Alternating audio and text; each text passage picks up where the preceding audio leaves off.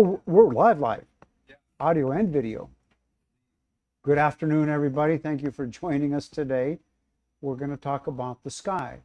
We're going to talk pretty much about the whole sky, uh, all the way from terrestrial uh, experiences to cosmic experiences through big telescopes.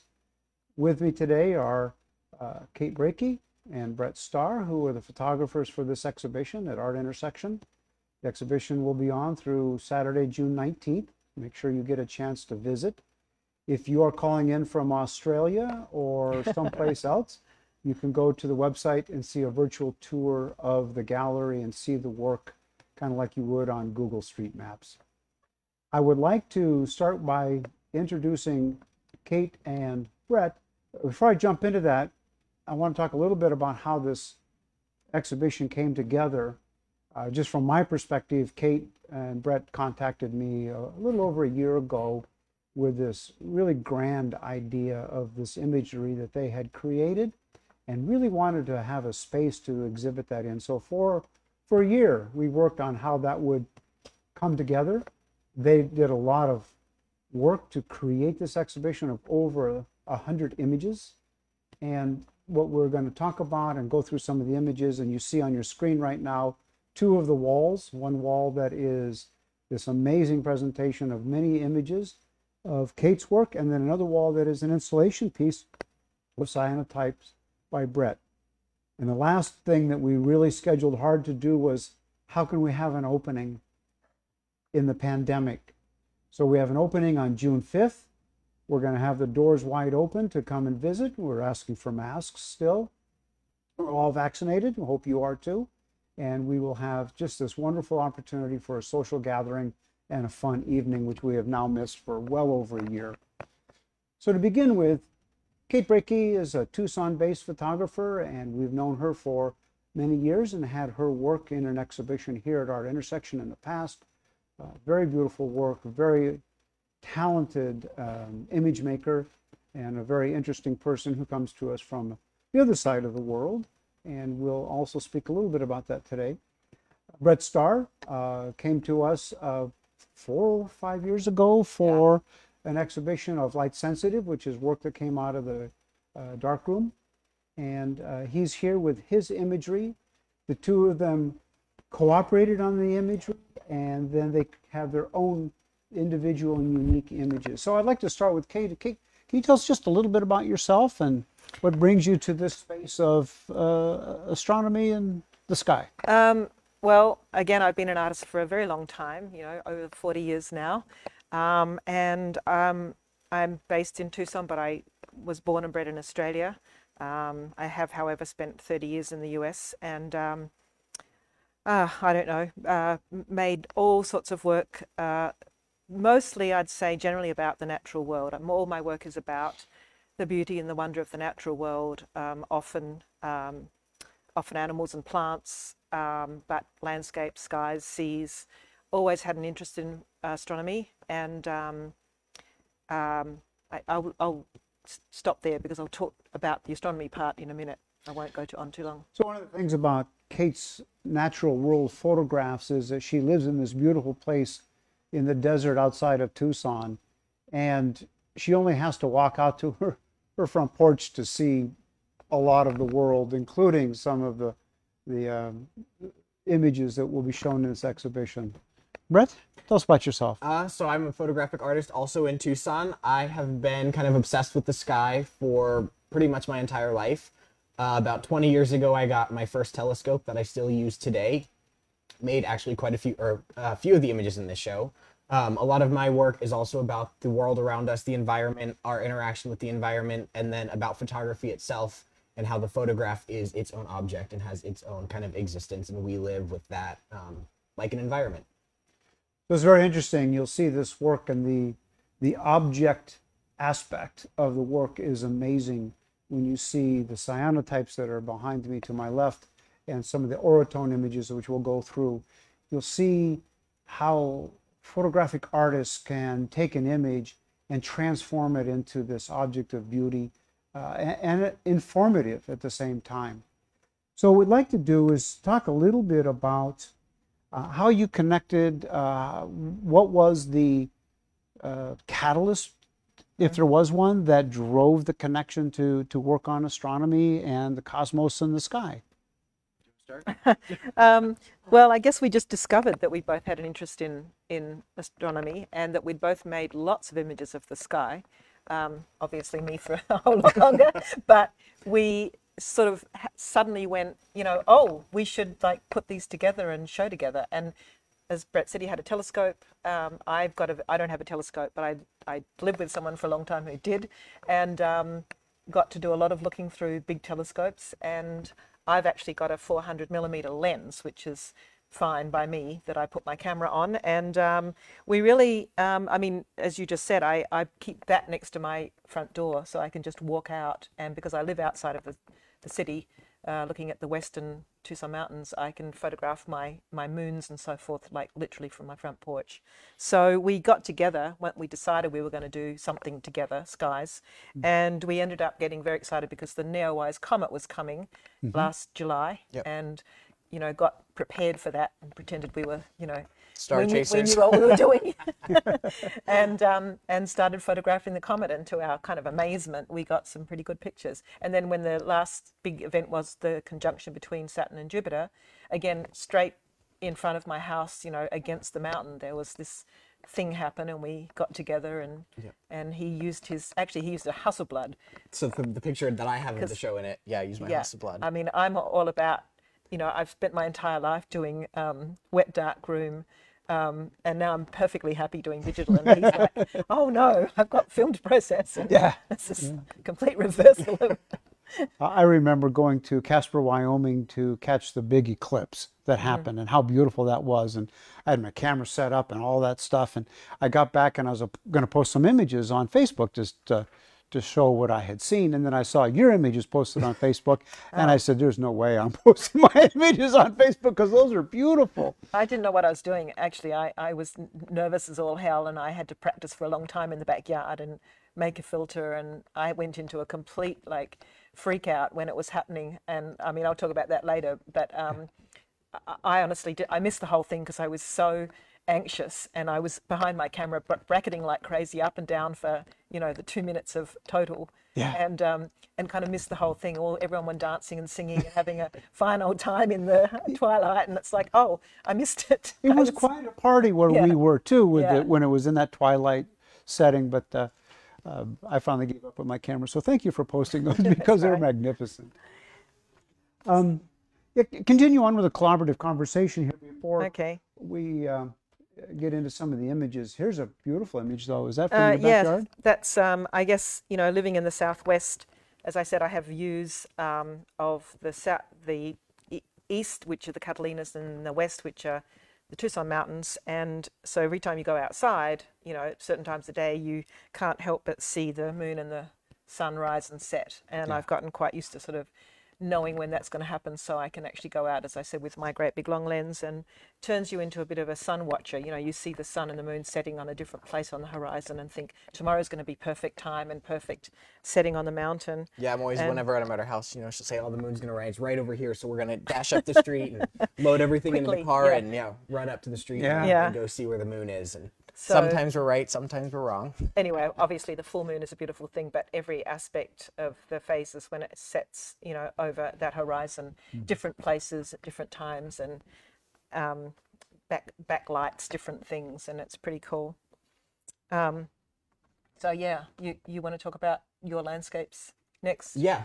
Um, so these are some of my landscapes. So I I am interested in keeping a little bit of the horizon in the photograph um, for the most part because I like this idea that no matter where you're at, you know, in the middle of nowhere, you can still have some kind of trace of being grounded. There's still some reminder that you're you're somewhere. You're not up in the sky. So here we have um, planes that always remind us that yeah, you know, we have these things in the sky. There's light pollution from city lights that no matter where you're at, you're always going to have some kind of reminder um, of our existence. And if there isn't a reminder, then you become that reminder. So I like this idea that you know it grounds us, it, it keeps us at home, um, but also you know forces us to look up and see what's out there and imagine what could be out there. Uh, one of the things that we agreed we wouldn't do is per se talk about the camera equipment that we use to capture this, but I just have to ask. That square was that a Hasselblad? It was yes. I, I just I, I'm. He's nuts. He's is nuts. Yeah. I like process. I like the whole aspect of photography. So for me, it's the whole experience. So using that camera forces me to slow down. You know, I can't immediately go look at it. You know, I like the sound. I like the motion. I like focusing. I like every aspect of Not knowing what you you're know, going to get. Yeah, not knowing what you're gonna get, just using the machine as as itself and being So- with it. One of the embarrassing moments as you go between a film camera and a digital camera is when you're using the film camera and you lean the back up so you could see the image. Uh, You do that? I, you know, not not very often, but occasionally. Every once in a while. It's hard with this one because it's such a different experience using it, which Yeah. I think is the other reason that I like it because it's so removed from Yeah. a digital phot- And that photograph. thunk just sounds Yeah. so good. It's beautiful. Yes. Yeah. So yeah, we we uh, photographed Yeah. So the that's uh, NeoWise Neowise together, and that was fun. chasing out. You know, it's middle of monsoon season in Tucson, so Yeah. you know, oh, I think tonight's going to be clear. Let's go see if we can get a picture in NeoWise. Yeah, it was great. And I've photographed some comets before, way back in '79. It was uh, Hale-Bopp was the very bright object in the sky. I think we've got that up next. Um, and I photographed that with film, but it was 35 millimeter film with like a slight, slightly long lens. And um, so my image that's on the wall here, you can actually see the grain, and you can, you know, it's like the real thing back in the day. I, I took two 35 millimeter cameras out in the desert, two o'clock in the morning, 15 years ago. And they were firing kind of independently with a Leonid uh, yeah, yeah, yeah. hailstorm, Yeah. hailstorm uh, Yeah. meteorites. And I got back, and I don't know, I had five rolls of 36 exposure, and I had captured probably three or four of Yeah. these silly meteorites. Yeah. Well, I've actually I've, I've got Neowise in the other room that has a. The only reason I printed it because I've got hundreds of the pictures of this comet, but there's one that I noticed much later when I looked closely that had a shooting star in it, and I thought that was really lucky. So Yeah. that Oh, one's yeah. actually in the That's next special. room. Yeah, it is. That's it. That's my um, that's Hale-Bopp. Actually, very bright, much brighter and fatter than Yep. Neowise. Uh, I think it came much closer. Actually, it might even be a bigger chunk Could of be. ice Could be. anyway, that was very exciting. As I said, f- f- with film, bracketing again like crazy. Yeah. Yeah. yeah. Um, okay, so um, this is again one of the pictures that I took again straight out my front door with my 400 millimeter lens, um, setting uh, on the horizon that I have, uh, which is a peak called Safford Peak at the end of the Tucson Mountains, and um, I watch it slide behind that peak, and then often slides behind the very top of the peak, which is beautiful. And as I said, you get uh, wonderful backlit swallows on the edge. There's one of the swallows that uh, was very fortunate. That was a waxing crescent moon, and I think it was a supermoon. I can't remember, but it was golden like that. And um, and again, to see the detail of the swallows up there Yeah. on the on the peak is That pretty connection special. to the yeah, terrestrial Yeah. perspective. yeah. A- And I've heard this word many times, and I've never bothered to look it up. Waxing is that? Yeah, it's waxing and waning. It's either getting fuller or less full. Okay. Depends where it is in its its fullness or new moonish. Yeah. It's And either going, wax- coming or waxing going. is getting bigger. Yes. Okay. Yeah. So I guess when people say I'm waning, that means that I'm getting Yeah, older. That's Yeah. right. Okay.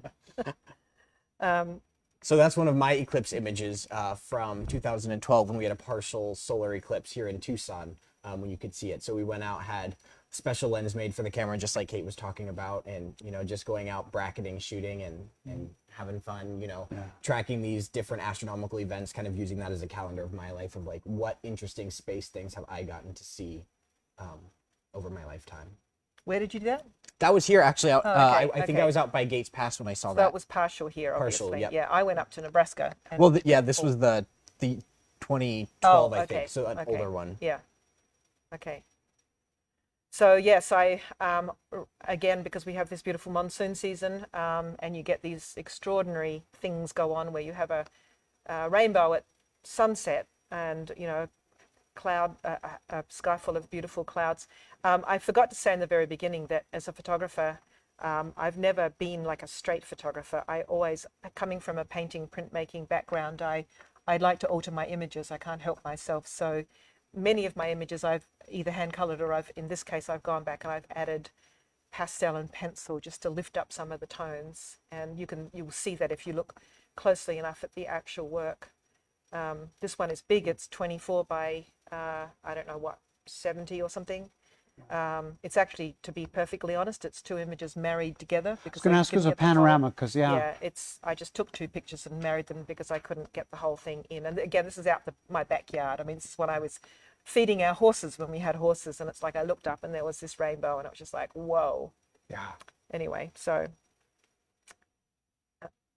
Oh, so here's another one of my landscapes. So again, kind of talking about this idea that we're being grounded. I'm using fire to light the trees. Um, the campfire that was sitting around us. I kind of saw the Milky Way in between us. This is up. Uh, we uh, my family has property up in Show Low. Uh-huh. So this is up there, um, sitting around the campfire. I saw the Milky Way between the two trees, and I was like, I have to make this picture. Yeah. And then it wasn't until uh, much later when I was processing the image that I noticed there was a little galaxy over in the corner there, and I was like, what a beautiful kind of just. Oh, it all happened to happen. Yep, Yeah. all coincidence.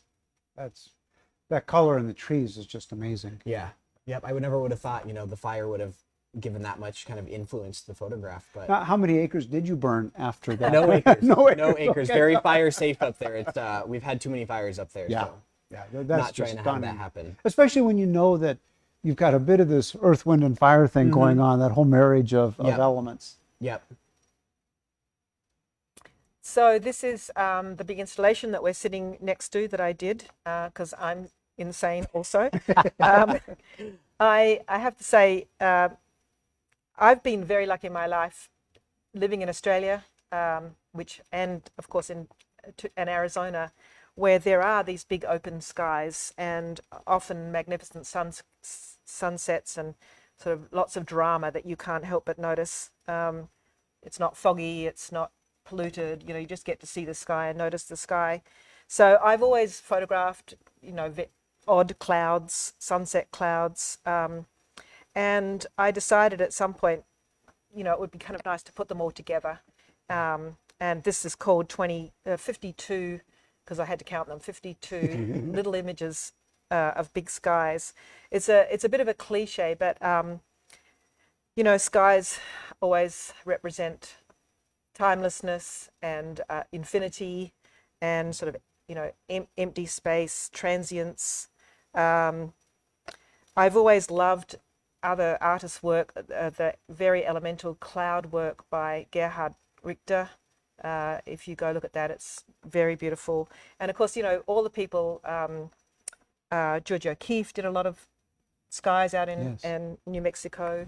Um, I like to say that, uh, and you know, James Turrell, who does light skies. If you live in the southwest, you can't really ignore the sky. It's very dominant, and it kind of, you know, it sort of swallows you up and affects you. And uh, you know, we've got a quote up here, a Cisneros quote. Um, you know, you can never have too much sky. You become sort of addicted to the sky because it's so present. Um, and I find it fascinating. It's it's almost like having this never-ending sort of um, dr- dramatical or, or theatre production. The the backdrop always changes, and there are these objects: the clouds, the moon, the the the sun that perform against that backdrop. Um, and it's never the same twice. You know, it's like it's it's uh, the clouds become these little ephemeral sculptural things and often i've seen a beautiful cloud a perfect cloud and i've run in to get my camera and by the time i get out um, it's gone it's evaporated or it's been blown away. Is that my is that mine? Yeah, I thought we Can't turned be? it on. i thought we did too. That's terrible. Sorry thank you. Um, um, anyway so that was the thing. I just decided i was just going to put all of these pictures together on a wall to kind of um, you know express the fact that it's it's so diverse. What you see outside is so diverse. Yeah. and it's kind of beautiful and and, and again um, overwhelming dramatically overwhelming half the time It so, is. So um, people who are watching this video can't see Evan, who's sitting behind with all the knobs and controls, etc. But he came out here from uh, school in Rochester and New Jersey, and said that one thing that amazed him was, uh, I'm not looking at trees all around me, and I just love trees, but that now I get to see everything because it's all out there in the open and uh, visible to me, so I get a sense of large space and not just this not claustrophobic, but tighter space. And so that's what the Southwest really is. I grew up on the ocean on the coast of California and, and then being here where you can see for, You could always see a, an horizon, and that's Yeah. it's kind of amazing. You can always see this huge distance, and it gives you a different feel. So while the exhibition is called The Sky, there's actually this uh, terrestrial or earthbound perspective as, as, as this part of the sky, as we've talked about today, and, and it shows up in many of these images. Uh, while we're still on this, I want to say um, this is actually one of the reasons Kate and I kind of started talking about this show. I saw one of the images up on this wall in her house, and I said, you know, I, I have an obsession with clouds as well. I think we should we should work on something together. So we kind of both were like, as insane artists, you know, let's let's come up with something wild and and do something with clouds and sky and yeah. So we're talking about the telescope stuff now. Yeah. Yeah, yeah. Okay. You want to um, ask us a question, or just launch into? Oh, my- I've got plenty of questions here. So, when we sat down in the beginning of this conversation for an exhibition, we did have the conversation about clouds and about astronomy and about sunrises, sunsets, eclipses. Uh, so it was, it was a very broad conversation. And then when the astronomy conversation came in, Brett and Kate actually employed a telescope. And my first question is kind of connected to the two two questions together. Where is this telescope? It's not in your backyard. No. And how did you learn about this? What what was that connection that you made? Okay, well, in fact, it started a long time ago when Rixon Reed, who is the uh, owner and director of uh, Photo Eye Gallery and Photo Eye Books, who's an amateur astronomer, a serious amateur astronomer, he sent me uh, a picture of the Tarantula Nebula, and I was just stunned. I thought, my God, you've got incredible telescopes. And I said, Did you take this picture? And he just sent me the link to this company, who is a remote hosting uh, telescope place called itelescope.net. And it's a not for profit, self funding, internet based observatory that now has 20 telescopes at four locations around the world Wow. uh, on three continents for public use. So all you need is access to the internet, and you can take your own deep sky pictures. They started with one telescope in New Mexico, I think about 20 years ago, and this has just grown and grown and grown. Um, the one we decided that um, we would use one of the, the location that's in Siding Springs Observatory in Australia, New South Wales, Australia, on top of a mountain. It's a serious observatory, but it has has this component which is the eye telescope thing, which is these, I don't know, seven or eight telescopes in a shed, a great big shed, all just you know hooked up. you can live stream the shed and like see where they're Yeah, what they're all you- doing. Oh, is that all, right? They're all Oh, how moving cool. around. Yeah. So what you know, what you do. Um, oh, it's operated by the Australian National University, and of course, Australia. The nice thing has it's got very dark skies, very Mm-hmm. clean skies, and um, frankly, we look at a part of the the sky that's more interesting, if I I might say, say. you're looking at a different hemisphere than we're exactly, used yeah. to up Yeah. here. So we decided. So you you pick an object. Um, you don't even have to know the coordinates; they know all that stuff. You pick the Mm-hmm. object that you want to to photograph, and you pick the appropriate telescope, which is a bit of a complication, but you'll get talk about that. and then you decide uh, what filters you want to use, and there's lots and lots of things actually. And you book you book a slot, and then off it goes, and you get the files uh, delivered. I mean, you get you get a notice to say the files are ready Yeah. and you go, wow, this is exciting, but I've never seen what this. Anyway, you'll talk about that, but it was fun and it's very exciting indeed to to know that you're taking pictures from a telescope in the other side of the world of something 70 million light years away. It's Yeah. like, how cool is that? So, So was the image a surprise when you received it?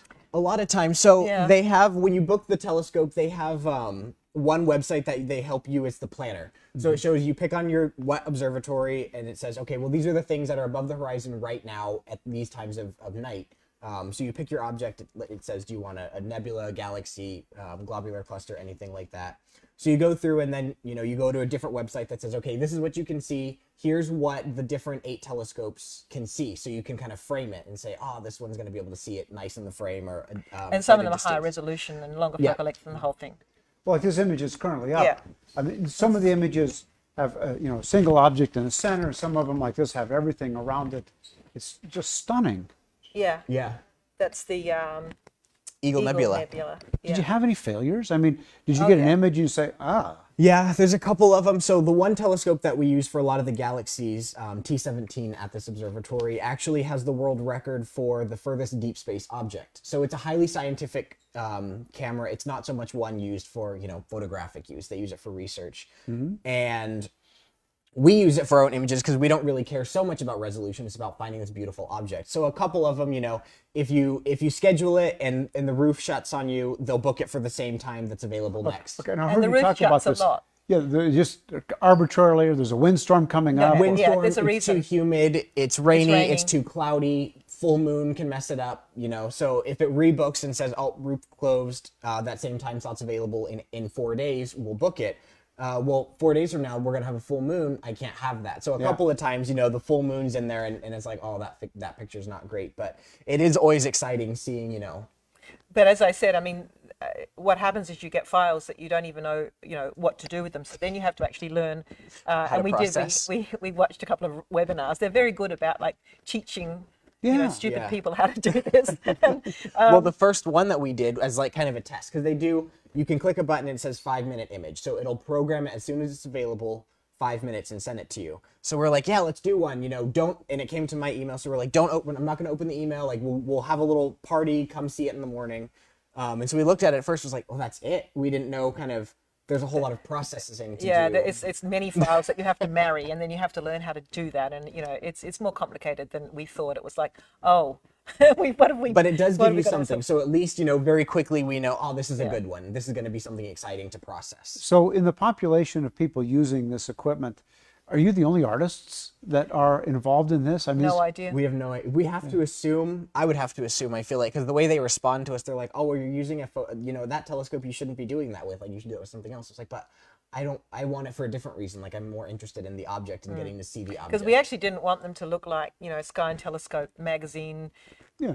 pictures that were like all the color nebula and everything. We wanted something you know much grainier and and more pe- printmakingly. Yeah, and to reference the history really of photography a little yeah, bit We didn't actually care if they were. So, when you registered, you didn't have to say Dr. Breakey or Dr. Star, right? Anyone can do this, Yeah. trust me. But uh, as I said, I think I think interestingly enough, a lot of artists who might want to do it, and I've had a few people say, "I want to do that," you know, and it's like, well, good luck with that because it's taken us, you know, at least six months to actually Yeah, figure to it out. get I mean, he's the tech guy, right? I don't know how to do this stuff. Um, I mean, I don't know that some of the processing stuff is beyond my well, the first of- one we got, we are like, "What's a fit file? How do Yeah. we? How do we process This? So we, like then we had to Google what it. a fit file was because we couldn't even we couldn't even open it. So, it was, it was an adventure. It was, it a, was an it was a journey. a- It a was, sharp yeah. learning curve. Yep.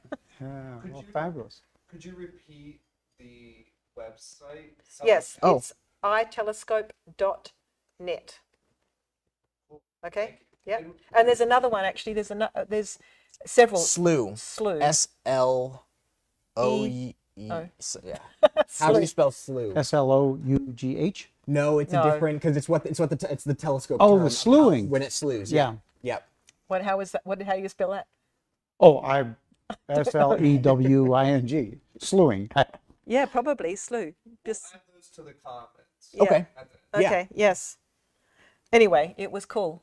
And as I said, we've got you know our furthest object is um, Sixty million light years. 60 million light years, and as everyone should know, that that means it takes 60 million years for that light to reach us.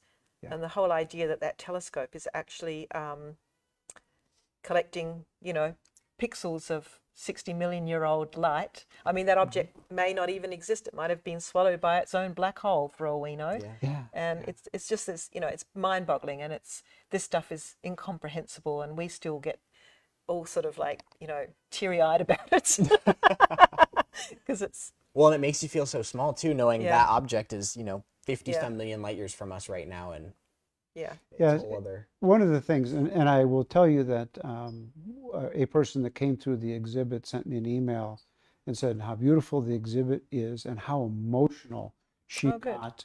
And she didn't tell me which images brought that out, but uh, she had tears uh, Wow. because Wow. it, it touched something, right? So yeah, these images of the solar systems and galaxies could make you feel small. Some of the clouds could make you feel perhaps introspective, you know, Yeah. and, and a sunrise could make you feel elated. And I mean, there's all these emotions that we've attached to the sky. And, Yeah. And in this exhibit, exhibit, you have absolutely touched on Hmm. all of those facets of what the sky means to us. Mm-hmm. Lots of poems written about the sky.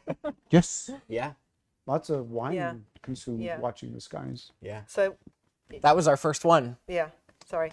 that, that that That- last That last image was our spiral. first. we, that was our we first. particularly got. like spiral galaxies. We just think they're kind of beautiful. Yeah. They It's are. like when you're stirring your coffee and you get a spiral galaxy. Mm-hmm. It's like there's something beautiful about it. And um, hey, So, uh, tell me about this next image here. Um, I've I've observed the sun, um, and these sunspots are very interesting. Are those sunspots, or is that No, a- so this is that- one, this is Venus. So, oh, okay. um, in uh, June 5th, I think 2012, uh, Venus transited across the sun and we could see it from North America. And this happens pretty rarely. Um, and so that, that little black dot is, is the planet next to us, just right in front of the sun. Yeah. Um, again, went out, out by Gates Pass and had my little uh, DSLR and my 400, 300 millimeter zoom lens and, you know, a little filter that we made for it. And I said, let's go see this. And I can't remember. Is that where the women come from, or where the men come from? women. women. Women. Okay, so that's the planet. Excellent. Uh, yeah, so I've got a whole series of uh, lunar eclipses. I love eclipses, solar and lunar. And of course, um, a, a lunar eclipse occurs when uh, when it, it passes into the shadow of the Earth. So it's when the sun and the Earth and the moon are lined up. And for a, a full lunar eclipse, um, you get this strange transition where the shadow goes across it, and then you get what's called a blood moon, where you get this beautiful, diffuse, bright uh, red light. Actually, this isn't a complete um, blood moon, but some of them are just magnificent. They're just, and and what happens is you get to see the moon. Um, it looks much more three-dimensional than we're ever used to looking at. We, you know, we see it as a disc in the sky, and then Yeah. suddenly when it's lit by the by the I mean, it's it's lit by the sun always, but it's got a, sh- a blurry shadow of the earth, and it starts to look like a beautiful Puts a shape on it, Yeah, yeah. and th- you know, it's just haunting and kind of spooky, and um, I don't know. So I, I just love it. So every time there is a, a lunar eclipse, and I've I've I mean, there's very often actually. Mm-hmm. Um, you can look them all up, and and uh, I've waited for them. Well, and- this is another case. I posted an image I made of the blood moon, and then I saw your posting, and I wanted to go take mine down. Oh, So I'm going to come on. unfriend you, so I don't have to look Okay, at that's all But right. this is beautiful. This is Yeah. clearly, and it does create such a an amazing shape to the moon. Yeah, and of course they were full of any eclipses, but because lunar eclipses was more often than solar eclipses, you know, in every culture, uh, there's there's the, the, it's a portent for something, or it's often very bad luck. It's about wars coming, or you know what I mean. It's like all these big astronomical events that no one understood Yeah. uh, became very significant in the So culture. you mentioned this cultural connection to eclipses, Mm. and I wasn't going to say it, but since you brought it up, the old Danny Kaye movie, uh, Yankee in King Arthur's Court, I think it is. Yeah, I remember. He was that. about to be executed, but he knew that an eclipse was coming. That's right, And he said, "If you don't let me go, I'm gonna, you know, block out the sun. block out the sun." Yeah, and then the eclipse comes, and they let him Yeah, go. Yeah. yeah. Sorry, that was Yeah, no, I kind of remember some that. Childhood. memory. yeah so anyway there's a few of these and Yeah. there's i think there's three or four different ones but mostly they're the ones from uh, 2018 and 19 but you know they look quite different because they go through this couple of hour transition um, i remember once i was i was doing a workshop actually with carol and jim in italy and i was flying uh, to uh, florence and um, there was going to be an eclipse and i i actually decided i was going to photograph it out the aeroplane window which of course is just this horrible scratched thing that's this thick Yeah. and but I, I had my camera pressed against the window, you know, determined to get it. And all of the flight attendants were like, "What are you doing?" And and I'm saying, "There's an eclipse out. there. There's an eclipse." And it's like, "Oh, really?" You know. And then they, I let them all look through my long lens, not my big 400, just my slightly long lens, um, at the eclipse. And and you know they were all taking it in turns. I think the plane was half empty, so I had most people coming and looking at the eclipse Oh, wow. through my lens in the airplane. How airplane. fun to share that I know Yeah. it with was- with yeah. people. But clearly, again, in this image, the light um, brings another perspective of the moon. Yeah. The shape of the moon gives it real character Yeah. besides that just a solid disc, which is also beautiful. But Yeah. This is gorgeous. Yeah, it's like a bead or a pearl or something, you know, Yeah. it's so beautiful. And it's interesting to see it. The eclipse gives the moon such a different shape than just it waxing or waning. It it, it does it at a different angle and makes it look Yeah. different, and it, it's interesting how that that affects it. Yep, there's another one. I think that's an older one. I think that's 2008. Yeah. And so that brings me to the fact that I also, when I went off and photographed the uh, the uh, solar eclipse, it was fairly specifically because I wanted to gild them, which is one of the things I do. I, I've been um, gilding images, um, call them orotones, um, and we'll talk a bit about that a bit later. But I wanted basically to put gold leaf behind a series of my solar eclipses and um, and make them glow and gleam Yeah. as they should because you know it's so fiery. And uh, this is called first contact as the as the moon comes across. It's first contact, second contact, which is total, and then third contact as it's moving off. And um, so I, I stood there for however it was two hours, I guess, and I, I made probably a thousand pictures of this event, as I said, kind of. And then there was the two minutes of total where everyone was dancing and singing, and and uh, the, and the birds went to sleep, and the animals, start, you know, whatever, all the things that go on that are kind of cool. And uh, they were playing James Brown. I remember that. That's the only thing I remember. They had a, they had a whole soundtrack actually, and they had as many image, as many songs as they could find about about total eclipse of the heart. You know, the whole whatever. Oh. And it was it was very it was fun. It was a lot of fun. Um, so this uh, was something I did.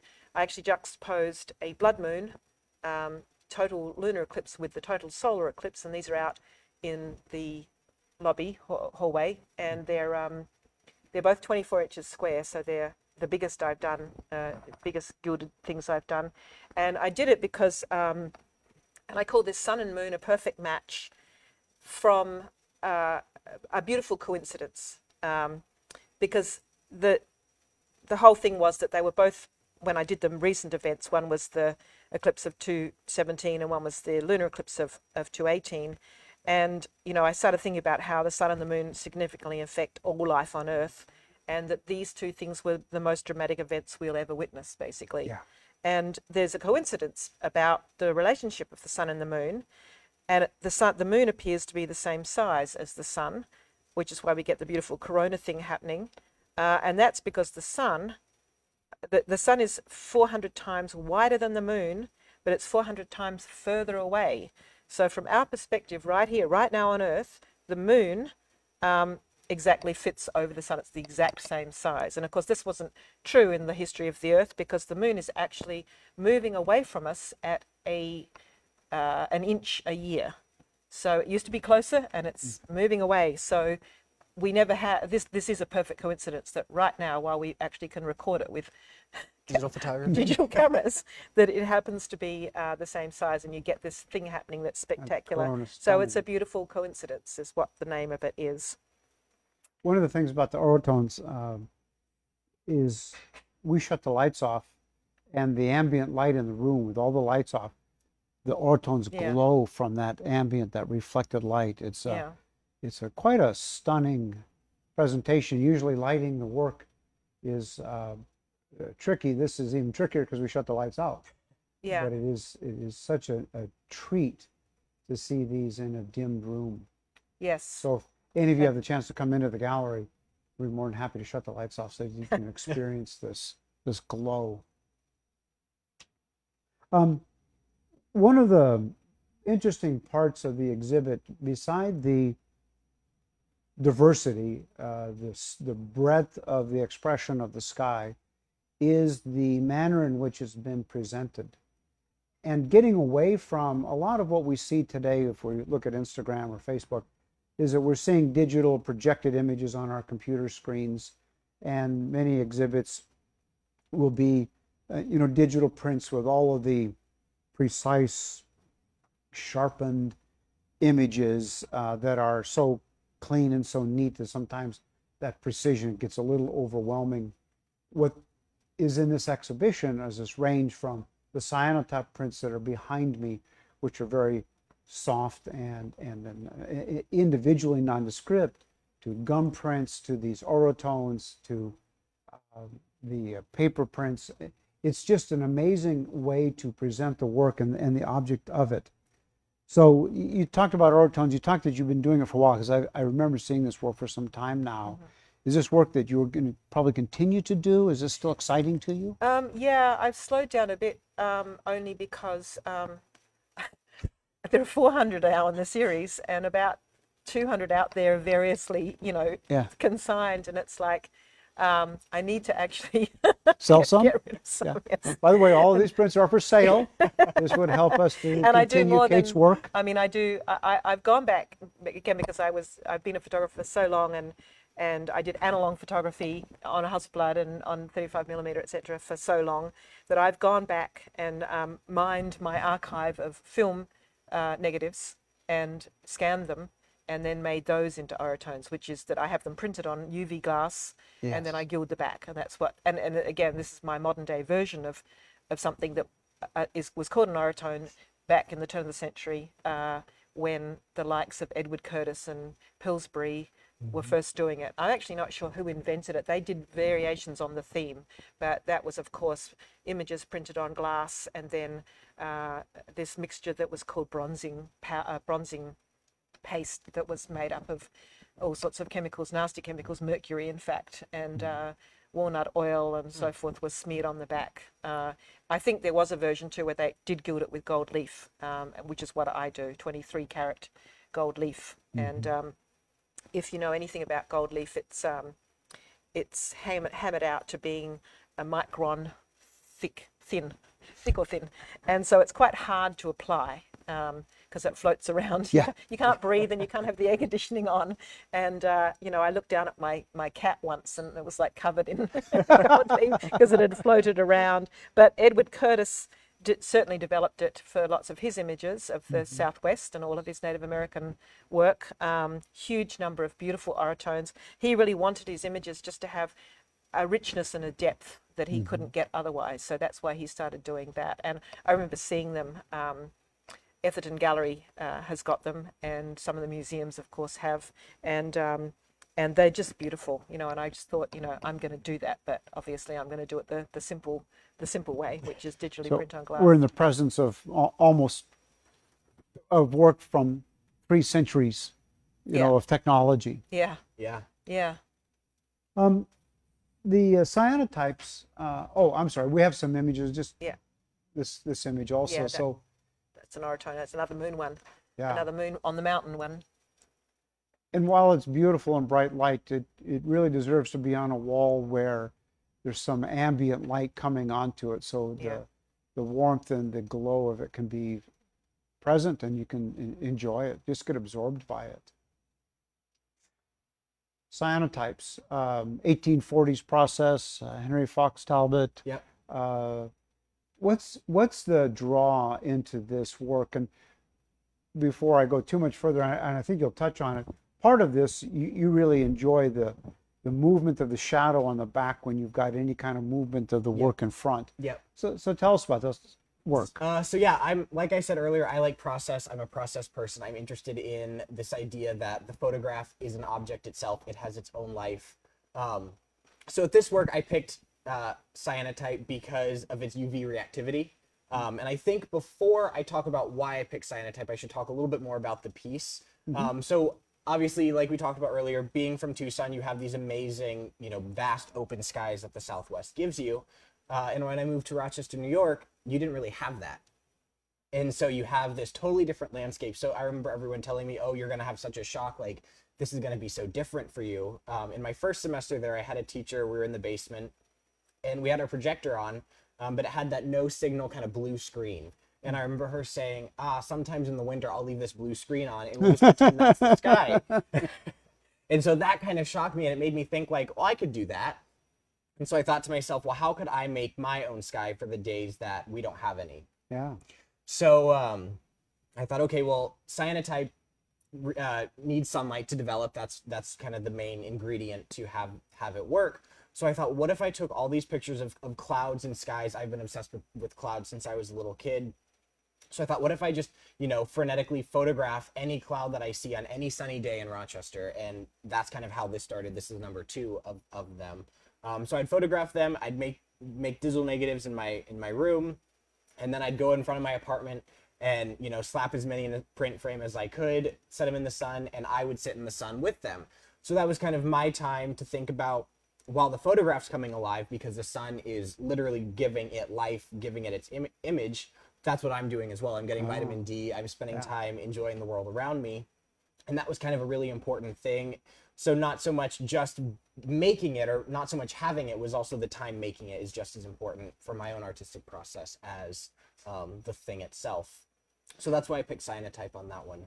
So when I look at this, and I and I have the great privilege, I get to see this every day, uh, multiple times a day. I feel like I'm actually on a spacewalk and I'm looking down onto Earth, right? Because I, I know this Yeah. is sky for you, Yeah. you know, but it feels to me like I'm looking down on, onto Earth with the clouds that cover it. So I feel this sense of uh, almost weightlessness when Yeah. I when I'm looking down. So I have maybe a different perspective from being up Yeah. higher looking at it, but I sure get that I don't have blue sky, so I'm going to make some. Yeah, yeah, and and the the title of it, halcyon, the definition is the denotation of a time period that was idyllically peaceful or calm. And so for me, it makes me think of being a kid and kind of looking at the sky and thinking, oh, that one looks like Pac-Man, and that one looks like a dinosaur. So when you look at this, you know, there's different clouds, different things. You know, I like this idea of childhood imagination and, and spending time out and you know being creative outside. Perfect.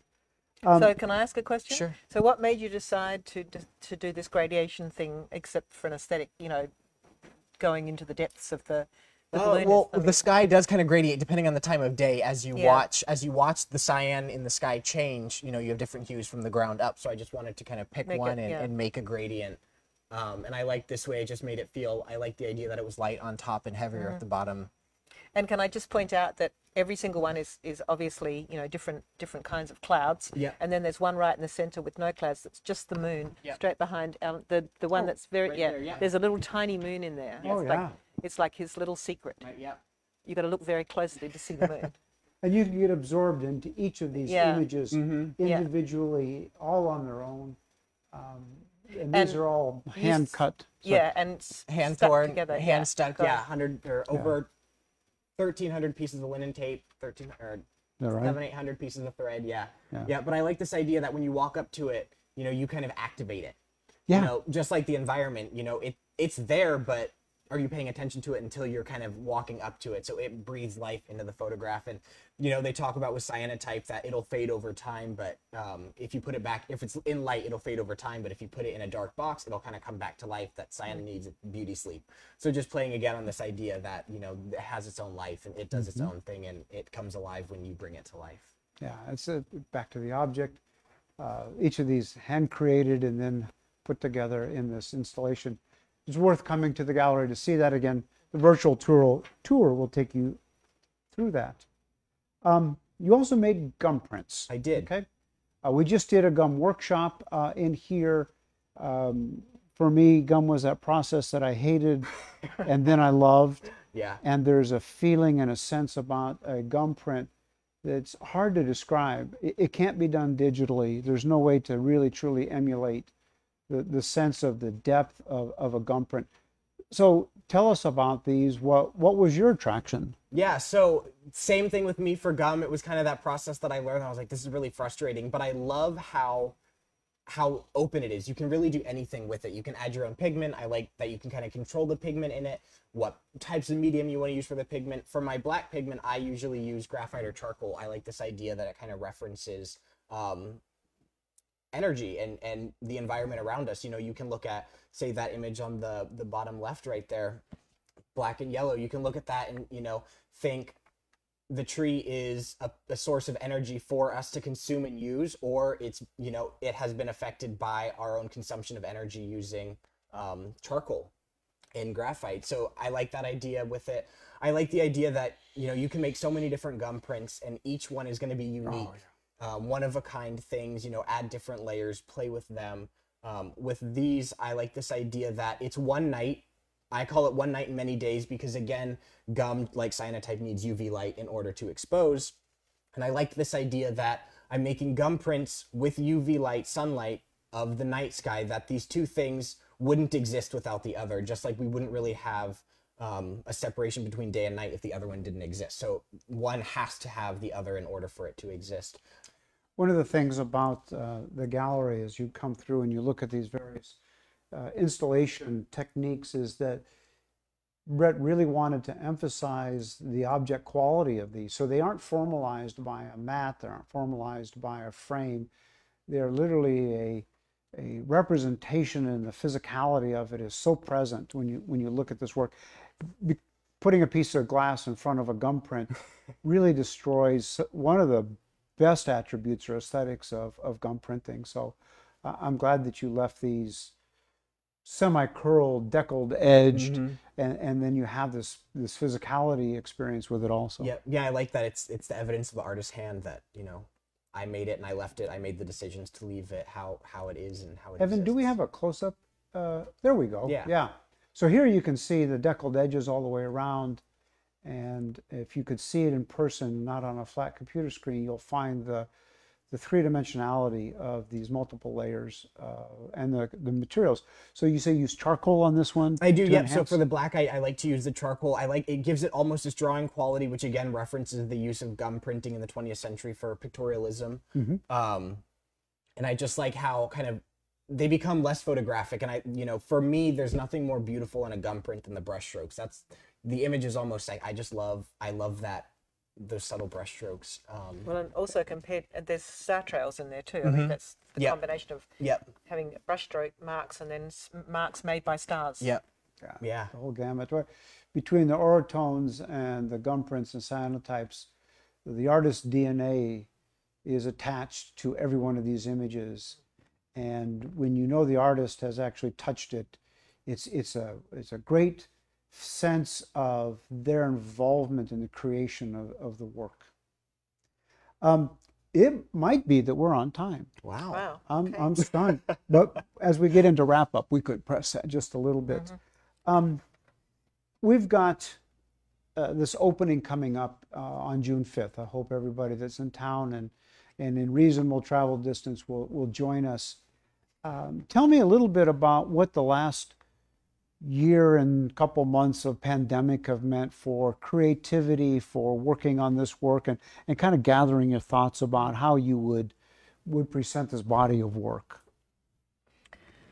Um, I guess the pa- pandemic actually, in some ways, I mean, the one good thing about it is that, you know, it, it, by sort of having to not be a social person anymore, you, you get more done. and um, because I work alone in my studio anyway as an artist, it hasn't made a whole lot of difference. I, I, I still do that. And, um, you know, we were inside each other's bubble in the sense that I knew he was careful and he knew I was careful, and we could still get together a lot to go through exactly what we were going to do. And of course, we were setting up the astronomy stuff. Well, yeah, we were stuck at home, so we thought, what can we do? You know, still making photographs, still making art, and, and Yeah. Kate showed me these telescopes, and I was like, let's do it. Like, Yeah. that sounds fun. So We've the perfect pandemic in a way, yeah. in a way. yeah. path, yeah. And then, you know, lots of them, like all the little clouds. I mean, they're sort of about that sort of isolation. You're just floating, floating along. Yeah. You know, in the in the universe, in the in the world, in the sky, as an individual little creature. And I don't know. There's just lots of metaphors to be had about. Most of my, oh, sorry. Go ahead. Most of my images of, of the night sky is, is me out in the middle of, you know, Pinetop, Arizona, either by myself or with my dad, you know, kind of out in the middle, just Still isolated. everything, still yeah. isolated. And these are all older, but I mean, it's still that same thing of, you know, when I make art, I like to, like you, dive into it, not be surrounded with people. Um, Also, I mean, all, all of it, it just gives you perspective. I mean, you know, the moon doesn't care. The moon's seen the history of mankind and da- you name it, and and this is just another little tiny, you know, blip. Uh, As horrible as it is to say, uh, in in the history of the of the It is a blip. Yeah. And um, and once you start gazing at distant objects or even a close object like the moon and realizing, you know, you got to get Yeah. this incredible perspective on your own life and and death and I thought during this pandemic of the isolation that people feel in different environments, and I'd hate to be on a fourth floor walk up in New York City, Mm-hmm. 600 square foot apartment. I think that would have made me crazy, and and they should have been surrounded by this work, just so Yeah. that they can feel that expanse when the actually is closed in wall. And I've always said how lucky am I to have like the desert landscape Yeah. and you know this beautiful uh, horizon and the endless space to contemplate during the time of great sorrow and suffering and so forth because again it makes you feel lucky compared to a lot of people. Yeah, I think that this illustrates that energy and, and positivity about Mm. about the world, even in this time, which doesn't feel like a blip, but it, Yeah. it will look that way in five years. Yeah. Um, next step, is there someplace that you are going to go? Is there a book coming out about this? Uh, uh, you're going to be on the Tonight Show? Hopefully. Uh, yeah, This that- interview was setting us we're up for the? Tonight Show. It is. right? This That's- is- Yeah, we're we're leading in with that. yeah. We actually talked about doing some kind of little handmade book, especially of our space pictures, and we haven't finished with that yet. In fact, we're we were waiting for one. We're uh, hoping to for get the one, file scheduled one to come in, today. and so we could like go, oh wow, our our remnants of uh, supernova, it's here, Yeah. because that's what it's like. You know, they they're coming in, and we're still booking them, and we're still finding objects we want, and we'd like to put them in some kind of beautiful accordion book or something again. An Something. accordion book would be amazing. I know. Yeah. Yeah. yeah. So that we'll do that. We'll definitely do that. So you can sense, I think, from the imagery you've seen in the pictures on the screen, uh, maybe through that virtual walkthrough, uh, the energy, I don't think this is going to go away. I think the passion will continue to exist in both of you, and we'll probably see more of this work. Yeah. Evan, do we have any questions we need to address? We're in good shape? Good shape. All right. Okay. Uh, this will be available uh, in perpetuity on Facebook, as long as I don't get banned from Facebook, or Brett gets banned, or Kate. I think we're in good good condition here. Uh, so you can watch this again. Absolutely, feel free to share it. Um, feel free to, uh, in in any way, comment on that. And if you have questions uh, after the fact, uh, feel free to drop an email to Art Intersection or to Kate or to Brett, and we'll be more happy to step up and answer questions. Mhm. So I think we'll wrap then, Yeah. guys. Right. Thank you. Thank you. for coming. Amazing. We're on time. Yeah. Thank you very much. You all have a good day.